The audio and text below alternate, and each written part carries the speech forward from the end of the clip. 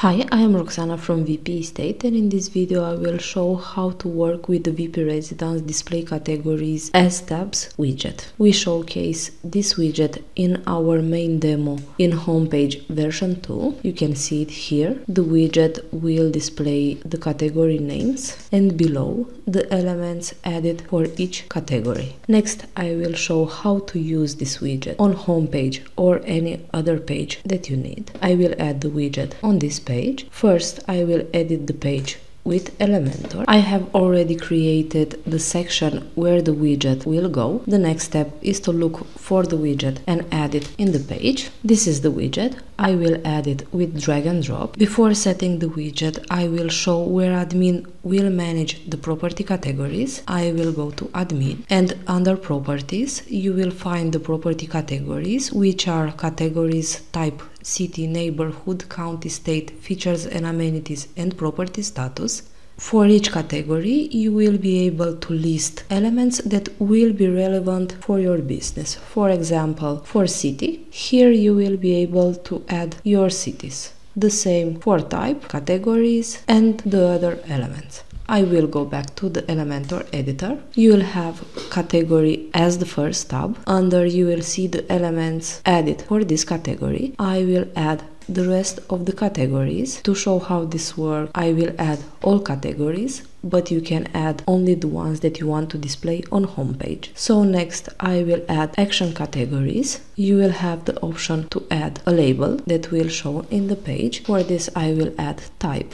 I will add the next element which will be states. I will select county state. As label I will add states. I will add the next tab and I will select cities. I will add a label as well. For the next one I will select neighborhood. As label I will add areas. I will also add features and amenities. As label I will add features and for the last category I will select status and add status as label. Below the content you will have these two options. The first one will allow you to choose the number of elements per row for each category. I will select 3 you can see the change but you can add the number that you want between 1 and 6 also you will have this option hide terms with no listings this means that in this list the categories that do not have a property assigned will not show i will switch it to no and now you see that the categories with zero properties will show as well. I am done with the content section. Next I will go to style section and change the design elements for this widget. I will start with the settings for the tabs. You will have the option to change alignment. You can set it to left, center,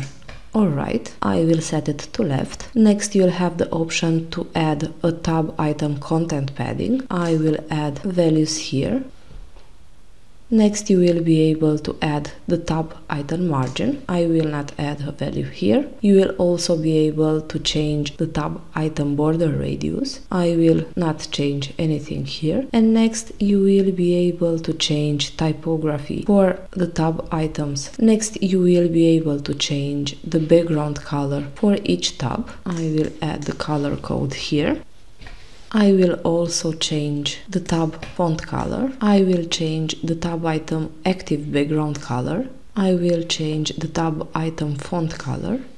And here you can change the tab item typography. You can change the font size, the font weight and make other settings. I will just change the line height. Next, I will go to the tab content settings. Here you will make settings for the content of each tab. First, I will add tab content padding values. You will also be able to add tab content margins. Also, you can set the list element margin values and you will be able to set the tab content border radius. Next I will change the colors. I will change the color for the term font color you will have the option to change item background color and term second row font color. You will have the option to change the term typography. I will change the font family, the font size, and the line height. Next, I will change the second row typography. I will change the font family. I will change the font size, the font weight, and add a line height. You will also have the options to change box shadow settings if you want. These are the settings for the widget design elements. In advanced section, you will be able to change general